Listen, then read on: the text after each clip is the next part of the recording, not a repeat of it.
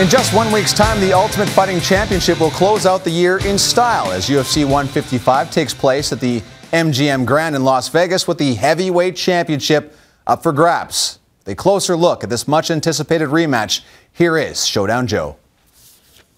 It's been over 13 months since Cain Velasquez lost the heavyweight title to Junior Dos Santos. That 64 second TKO loss to the Brazilian has left a bad taste in Cain's mouth, and it's been lingering for far too long. Velasquez is ready and bitter to garner some revenge. Big shot! He's big right hand by Junior Dos Santos! You know, this time around, um, basically, you know, attack him.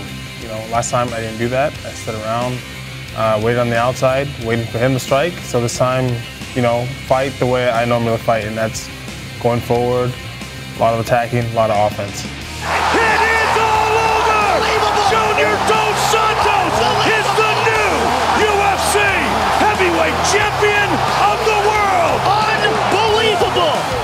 Just learn from it, you know. I wouldn't say affect me in a way that um, I lost sleep over it, you know. Um, definitely, I, I, knew what I did wrong. It felt like the people around me got affected more by it, um, as far as coaches, trainers, you know. Um, but I just, I just think you can just, you learn a lot more from a loss than a win. So just learn from it and move on, you know, because I will have another chance again.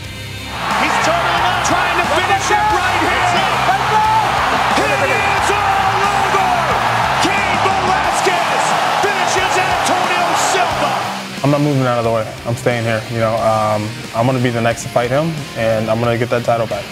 Definitely, all my, you know, my mind, uh, when I'm in training, all I'm thinking about is, is, Junior. When Cain and Junior finally lock horns inside the octagon, I highly doubt Velasquez is going to waste any time standing and banging with Dos Santos. Look for the Mexican American to score a takedown the moment Junior gives him the opportunity to do so. And in that way, we will finally get to see what JDS's ground game is like. Make sure to tune in Christmas Eve for UFC Central. The best of 2012 will count down the top 10 fights, fighters, knockouts, and submissions. That comes your way Monday, 6.30 p.m. Eastern, 3.30 Pacific.